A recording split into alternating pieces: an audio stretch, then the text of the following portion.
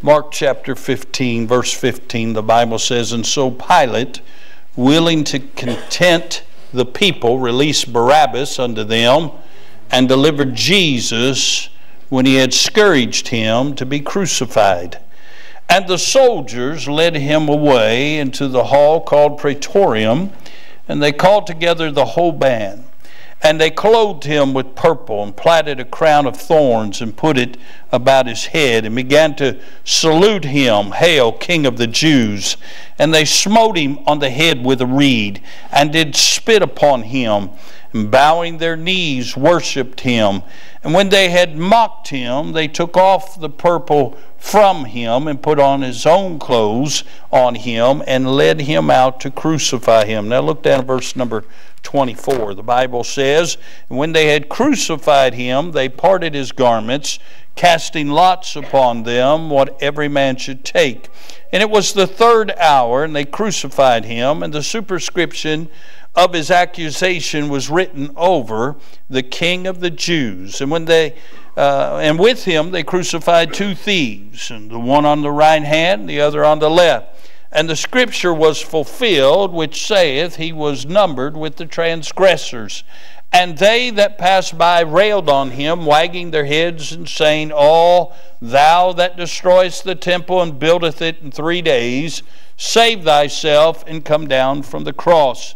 Likewise, also the chief priests mocking said among themselves with the scribes, He saved others, himself he cannot save. Let Christ the King of Israel descend now from the cross that we may see and believe. You ought to underscore that.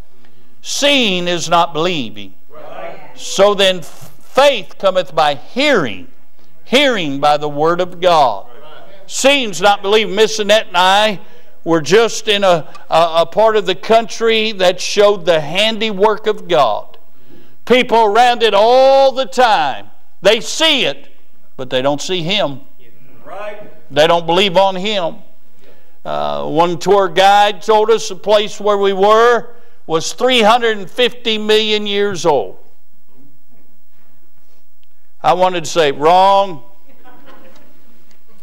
He did say one thing. He said it was formed because it came out of the ocean. Wrong. The ocean came to it. There was a great flood about 4,000 years ago that formed everything that we just were witnessing. But see, they see it, but they don't believe.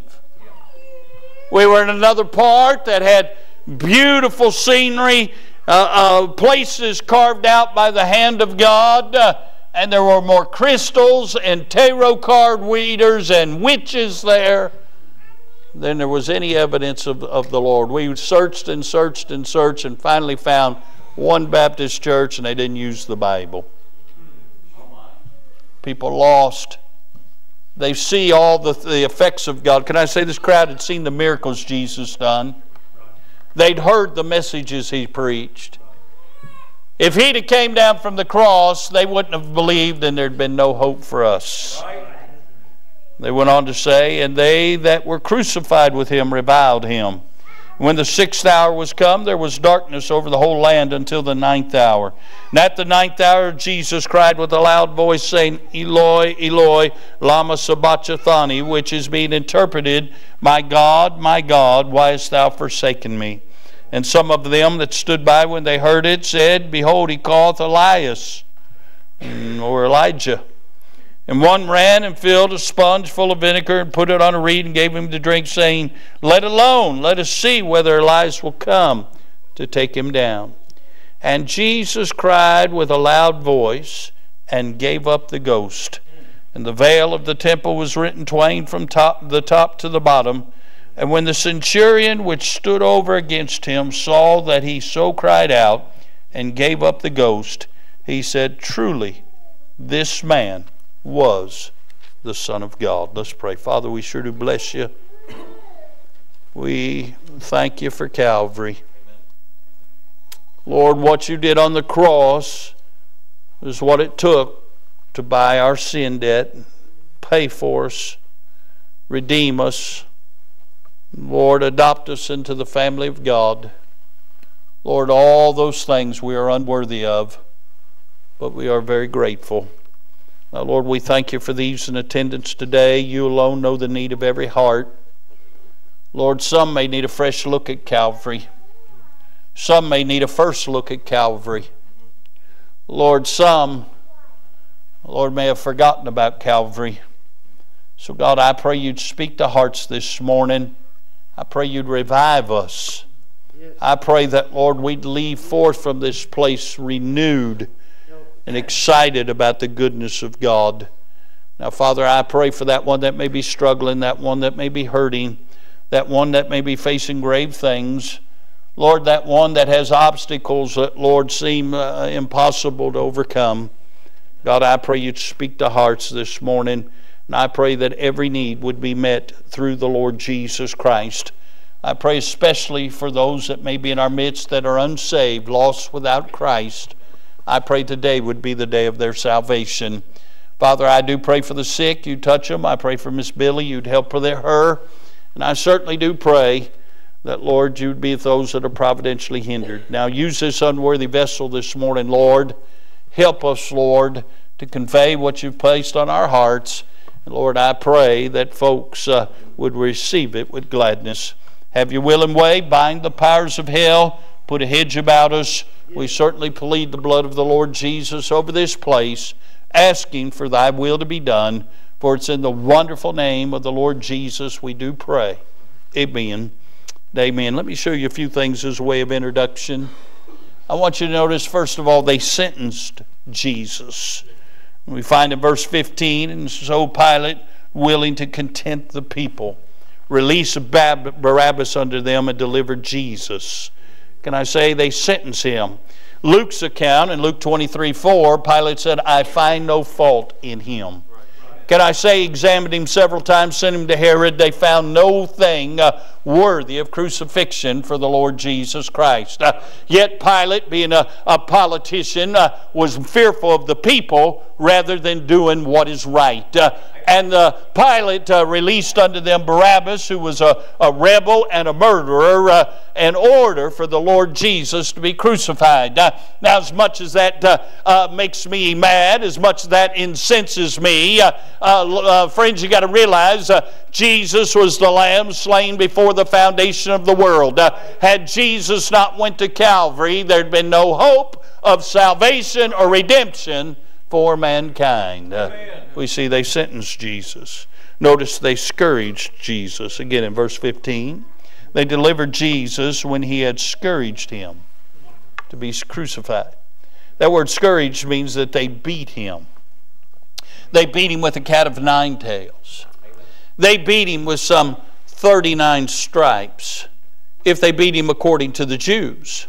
Now, the Romans were known to beat a man up to 100 stripes. All I know is the uh, uh, it was prophesied in, in the book of uh, uh Psalms, in Psalms 22, uh, he said, My bones stare at me.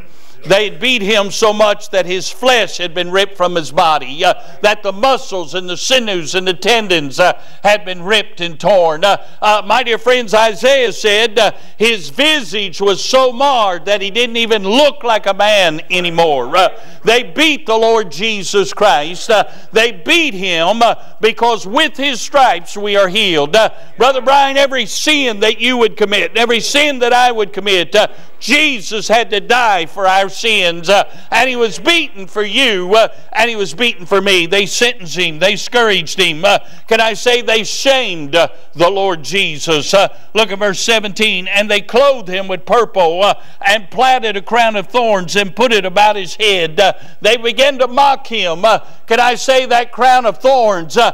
You, listen, little rose thorns will hurt, they'll prick. but if you've ever seen the thorns of that land. They look like spikes. They're three and four inches long. Uh, and they'd plaited a crown and put those spikes in it. Uh, and when they pressed that upon his head, uh, the very flesh uh, uh, was peeled from his head. Uh, he wore a crown that you and I deserved. that one day you and I will receive a crown of righteousness for his name's sake. Look in verse number 20. Uh, and when they had mocked him, they took off the purple from him, put his own clothes on him, uh, and led him out to crucify him. Uh, they mocked him and shamed him. Uh, the Lord of Lords uh, and King of Kings uh, was made a mockery before a band of soldiers. my dear friends, I don't know about you. There's something within my flesh. I just don't like to be mocked. Right. Right. Do you think the Lord Jesus liked to be mocked? No. Yet he came before his shears as a sheep dumb and opened not his mouth. He could have spoke a word and they would have ceased to exist. I mean, when they came to arrest him at Gethsemane, they asked if he was Jesus of Nazareth. When he said, I am, the power of him, admitting who he was, they all fell on their backside. Can you imagine if he Amen. Mm, just spoke that sharp two edged sword? But yet he didn't. So why didn't he, preacher? Because he loved you. And he loved me. Notice they spit on the Lord Jesus in verse 19. It said they smote him on the head with a reed and did spit upon him. They smote him. They whacked him across the head with a reed. And then they spit on the Lord Jesus. I wonder those that are burning in the charred region of the dam today wish they'd had that same spit to cool their tongue. Can I say they suspended the Lord Jesus? Verse number 24, and when they'd crucified him, they nailed him to a cross and they suspended him between heaven and earth. Hmm, can I say the Lord Jesus did not fight them after he carried his cross up Calvary's hill? He yielded to the cross and they nailed him to the cross. They erected it and dropped it in a hole. And I'm told when that thing hit in that hole, uh, uh, those that hung on crosses, it felt like every bone would go out of joint. He's suspended. He's there, stripped, beaten, Amen. spit upon, mocked, blasphemed, dying in an open shame. Can I say the worst part of the crucifixion happened when total darkness had come on it, on the earth, and he cried, My God, my God, why hast thou forsaken me? Isaiah 53 6 says, And the Lord laid on him the iniquity of us all. Colton, every sin you ever commit was laid on the Lord Jesus. And when He became sin for you and I, the Holy Heavenly Father could no longer have fellowship with Him. He turned His back on Him. And the Lord Jesus died alone in an open shame. But can I say this? They could not slay Jesus. Look, if you will, verse 37. And Jesus cried with a loud voice and gave up the ghost. The veil of the temple was rent in twain from the top to the bottom, and when the centurion which stood over against him saw that he so cried out and gave up the ghost, uh, he said, Truly this man was the Son of God. No man had ever died like Jesus. Uh, this centurion uh, was a man uh, where his whole responsibility uh, was to inflict pain on people, uh, hang them on a cross, and watch them to die. he'd watch countless die on that hill called Mount Calvary, that hill called Golgotha. but can I say, he never seen anybody die like Jesus. the average man, it took three or four days to die on a cross. and if they needed him to die sooner, uh, they'd come and break their legs uh, so they could no longer uh, reach up and gasp for air uh, and they would drown in their own fluids. Uh, but can I say the Lord Jesus just hung there uh, for a measly six hours and when he seen everything was accomplished uh, and the law was fulfilled uh, and the Father was pleased, uh, the Bible said that he gave up the ghost. he willingly gave his life. they did not kill him. He gave his life for you and I. hey, they could not take his life. Uh, he is the resurrection and the life. Uh, they could not slay the Lord Jesus. Uh, and with God's help, for just a few minutes, I asked Brother Phil to sing that song because I just want to preach on thanks for Calvary. Amen. Thanks for Calvary. Because of Calvary, I'm thankful for the Son of God. Oh, what a blessing that one day uh, he decided he'd come uh, and pay our sin debt long before he ever created us. Uh, what a blessing. Uh, the Son was willing uh, uh, to drink his bitter cup and willing to do the will of his heavenly Father. the Bible said, you know John 3:16, for God so loved the world that he gave his only begotten Son, that whosoever believeth in him should not perish but have everlasting life. I said, thanks to Calvary, and I'm thankful uh, for the Son of God. Uh, First John chapter number 4, uh, verse number 9 says, uh, In this was manifested uh, the love of God toward us. God proved His love, showed His love for you and I on Calvary. he goes on to say, Because that God sent His only begotten Son into the world that we might live through Him. Herein is love, not that we love God but that He loved us uh, and sent His Son uh, to be the propitiation for our sins. Uh, he was the payment for our sins. Uh, God willingly sent His Son. Uh, the Son willingly came uh, to make a way for sinners like you and I to be saved. First John 5 20 says this, and we know that the Son of God is come and hath given us an understanding that we may know Him that is true, and we are in him that is true, uh, even in his Son, Jesus Christ. Uh, this is the true God and eternal life. Uh, I'm thankful for the Son of God. Uh, can I say, uh, uh, because of Calvary, I'm thankful for his suffering. Yes, sir. He didn't have to suffer, but he chose to suffer so you and I could have eternal life said in Isaiah 53, verse 5 But he was wounded for our transgressions, he was bruised for our iniquities. The chastisement of our peace was upon him, and with his stripes we are healed. All we like sheep have gone astray. We've turned every one to his own way, uh, and the Lord hath laid on him the iniquity of us all. Oh, I'm thankful for his suffering. 2 Corinthians 5:21 for he, for he hath made him to be sin for us who knew no sin that we might be made the righteousness of God in him. Oh, I'm thankful he took my sin and I'm thankful he robed me in his righteousness the day I called upon him and trusted in him as Lord and Savior.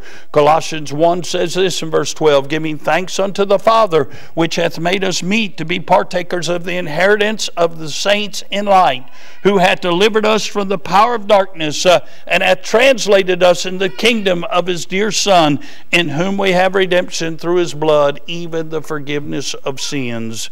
I'm thankful he shed his blood for our sins. The Bible says, without the shedding of blood, there's no remission of sins. Uh, I'm glad that the royal, righteous, redeeming blood of the Lord Jesus Christ uh, can take the blackest sinner and wash him uh, in that precious blood and make him white as snow. What a blessing. I'm thankful for his suffering. Can I say this this morning? I'm thankful for his strength. Amen, Pastor. Can I say his strength is exemplified throughout this entire process.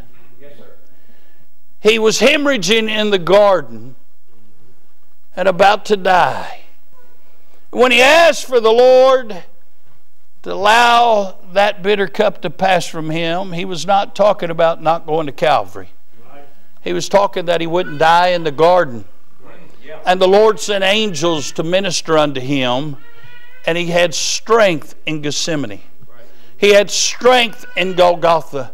After they beat him beyond recognition, he carried his cross some two miles down the Via Dolorosa yes, to be crucified. What strength he showed that he carried all the sins of all mankind and still was able to fulfill the will of the Father and give his life for you and I. And then he showed his strength at the grave when he had power over death, hell, and the grave. Matthew 28 and 5 says, And the angel answered and said unto the women, Fear not ye, for I know that ye seek Jesus, which was crucified. He is not here, for he is risen, as he said. Come see the place uh, where the Lord lay. I'm thankful for our darling Savior. I'm thankful that the grave couldn't hold him. Uh, I'm thankful that Satan couldn't keep him dead. Uh, I'm thankful uh, for the Lord uh, who resurrected. Uh, and as Phil said when he got up to sing, every Sunday uh, we celebrate the resurrection of the Lord. what a blessing that the grave couldn't hold him. We serve a risen Savior. he gave his life and he rose again under his own power, for he is the resurrection and the life. Uh, the great apostle Paul said this in 1 Corinthians 15, verse 3 For I delivered unto you first of all that which I also received, uh, how that Christ died for our sins according to the Scriptures, uh, and that he was buried, uh, and that he rose again the third day according to the Scriptures. Uh, everything Jesus did, he did scripturally, uh, he did by the Bible. and what a blessing that the, Paul, the apostle Paul said, I'm going to give you the same gospel gospel that I received uh, the death, burial, and the resurrection of the Lord Jesus Christ. Uh, the good news is you don't have to die and go to hell. Uh, Jesus died to save you. All you got to do is put your faith in Him. Uh, I'm thankful for His strength. Uh, can I say this? I'm thankful for salvation today. I ought to be in hell, but I've been saved 50 years. I bless the Lord. He didn't have to save me, but I'm glad He did. I'm glad I heard the gospel at a young age. I'm glad I understood what the gospel meant. I'm glad for the day uh, when the Savior came and spoke to my heart and I realized I was lost uh, and I needed to be saved. Uh, that night I made my way to an old fashioned altar, uh, called on the Lord, and He saved me and changed my life, and I've never been the same since. Uh, I'm thankful for salvation. Ephesians 2 8 tells us, For by grace are you saved through faith. That's it. When I came to the Lord, I had nothing to offer Him, but He had all of heaven to offer me. Huh? Uh, but it goes on to say, and that not of yourselves. You can't work your way into heaven. There's no works you can do to get to heaven. You can be baptized, be a church member. Uh, uh, uh, you can jump through hoops. You can go to whatever you want to, but that won't save you. Uh, no, you're saved by grace through faith. That not of yourselves. It's the gift of God, not of works, lest any man should boast. Greatest gift you'll ever receive is the gift of salvation. Acts chapter 16, uh, that Philippian jailer, after he saw all that God did for Paul and Silas, uh, he asked them, uh, uh, uh Sirs, what must I do to be saved? Uh, and they said, Believe on the Lord Jesus Christ, and thou shalt be saved and thy house. Uh, that old boy got saved that night. Uh, uh, uh his household got saved that night. Uh, and he took Paul and Silas and cleaned them up. Uh, what a blessing when God changes a heart. Of course, Romans 10 13, For whosoever shall call upon the name of the Lord shall be saved. If you're here today and you're not saved, you're in the right place. You can get saved today. The Lord Jesus died for you, loved you, and will save you today. I'm thankful for salvation. You know, Thanksgiving's coming up. You know, Thanksgiving is a is a thing that ought to be on a Christian's lips every day. Every day He loadeth us with benefits. Every day He's good to us. Every day He blesses us, and we ought to be thankful for some things. Can I say I'm thankful for the Scriptures? Hadn't been for the Scriptures, I'd never heard of Jesus. I'm thankful that people still preach the scriptures.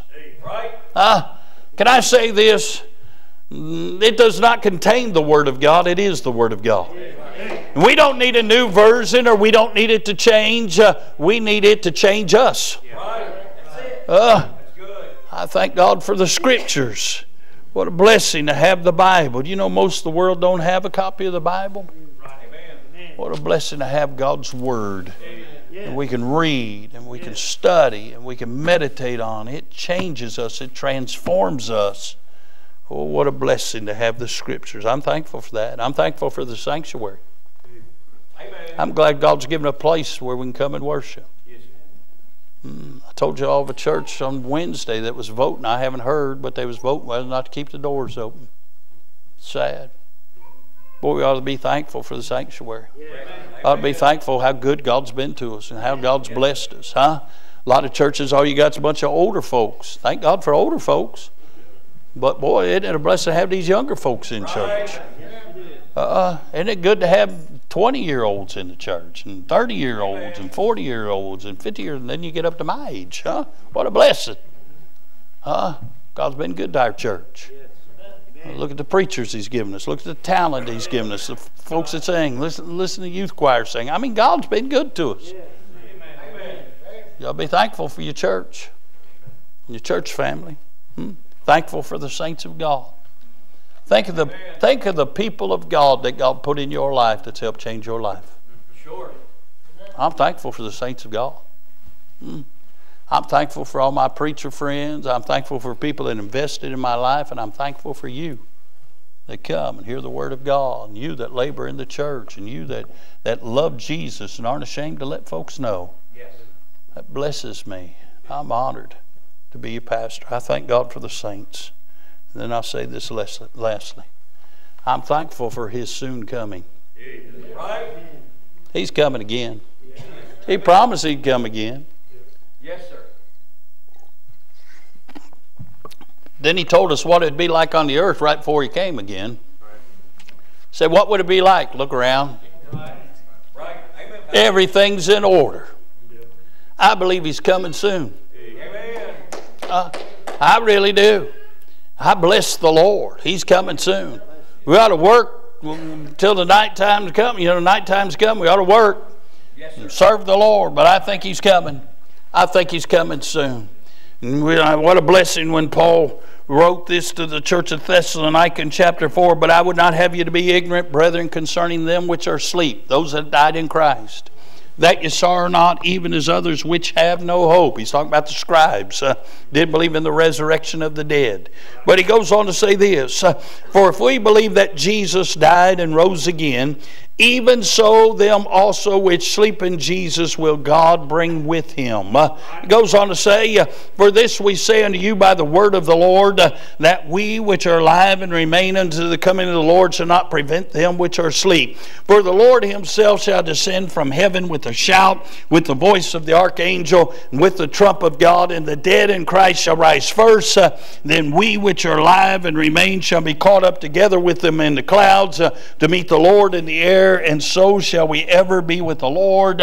Wherefore, comfort one another with these words. Uh, if you're not comforted uh, by the fact that He's coming soon, uh, I've got news for you. You need to get right with the Lord. But if you're right with the Lord, it should excite you that He's coming soon. What he did, what the Apostle Paul did, was explain what's going to happen at the translation of the saints, uh, at the catching away of the saints, uh, or as we refer to it as the rapture of the church. Uh, what is going to happen, preacher? Uh, those that have died in Christ, uh, he's going to bring his soul with them, uh, and they're going to rise first. the trump of God's going to sound, the voice of the archangel is going to sound, and the dead in Christ shall rise first.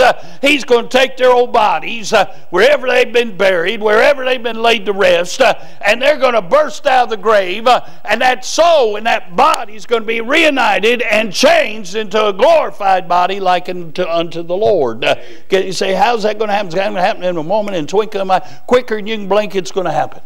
Right. And then we which are alive and remain, we're going to be caught up and we're going to meet them in the air and we're going to meet the Lord. And so shall we ever be with the Lord. What a blessing, huh? And then uh, uh, there'll be seven years tribulation on the earth. Then we're going to come back with him when he literally comes back to this earth. Uh, we're going to come back riding on white horses uh, when he comes to defend Israel. And then he'll sit on the throne of David for a thousand years and we'll rule and reign with him. Huh? He's a coming. And he's coming soon. Because of what he done on Calvary because I believed on the Lord Jesus Christ and He saved me and changed me, guess what? I'm going because He's a coming. I'm thankful for that. Now, I've said all that to say this Do you know the Lord? If you don't, He wants to save you. He died that horrible death to save you. He allowed you to be here today to hear this message because He wants to save you. And if you don't know the Lord, today would be a great day to be saved. Say, Preacher, I don't know how to be saved. In a moment, we're going to have an invitation. We're just going to invite you to come. And if you come, I'll get somebody to take a Bible and show you from the Bible how you can be saved. It's very simple to be saved. All you got to do is realize you need to be saved, realize you're lost, and come and believe on the Lord Jesus Christ. He'll save you. He'll change your life. Oh, if you want to be saved, you can be saved today. If you are saved, are you ready to go? You ought to be ready to go. And if you are saved, when's the last time you thanked Him for Calvary? When's the last time you thanked Him for suffering the way He suffered for you? Hmm? You know what you were before you got saved. You ought to be thankful that He saved you. Some of you got saved at a young age. You ought to be thankful that He saved you from all that mess. Yes, sir. When was the last time you thanked Him? This will be Thanksgiving week.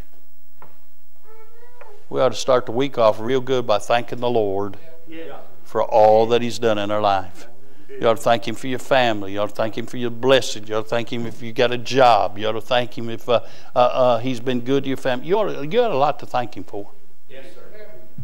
I really believe if we get real good and thankful, He might get real good and just bless more and more. Huh? Well, He's out there, Arizona. My son and daughter in law abused my granddaughter. Come here, baby. Come here. Look at this bruise. Where'd you get hurt? Yeah, your head. Was it mommy's fault or daddy's fault? Yeah, both of them? Yes. so they FaceTime us. We're going to urgent care. I'm in Flagstaff, Arizona. And my darling grandbaby's got to go to urgent care because mom and daddy abused her. Gave her a ball pit, and she hit a windowsill. Bad. It was bad. You want to go up there? All right. Every day she FaceTimed me. Every day she wanted to talk to Mimi and Rev. Hmm. Now that don't do anything for you, but it sure did make me thankful. Amen. I got something so precious. That her head was okay, and that she means so much to us, we changed her flight, came early to see her.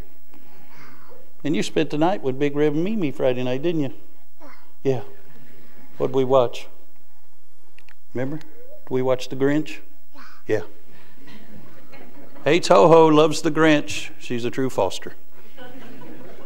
Hmm. So, what are you saying, preacher? I'm saying we got a lot to be thankful for. If it wasn't for Calvary, I might have ended up a drunk dope addict. May have never got to meet Miss Annette. So I met her in church. If I never got saved, I wouldn't have met her. Wouldn't have the family I have today. Who knows what my life would have been like? Might already be in hell. Boy, we got a lot to thank God for. Yes. God's been good to you. Yes. So, well, preacher, I don't have this going on and that going on. I could be blessed more. You're blessed, trust me. We was just out in the Navajo Indian reservation. Trust me, everybody in here is blessed.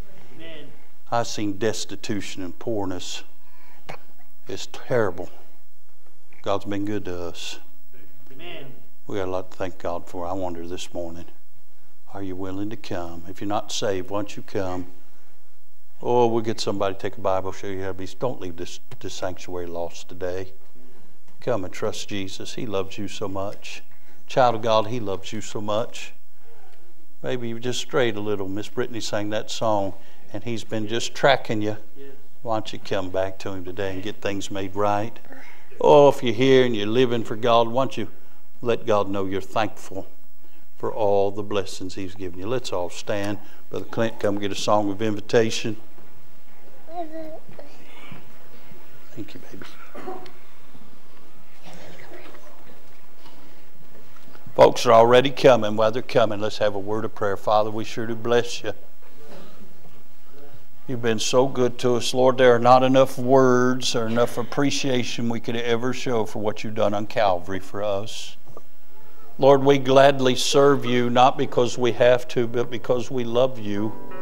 And we love you because you first loved us and you demonstrated that on the cross.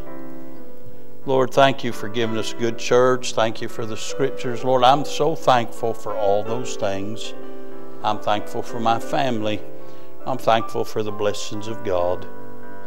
Lord, I'm grieved in my heart because there may be somebody here today unsaved, not ready to meet you.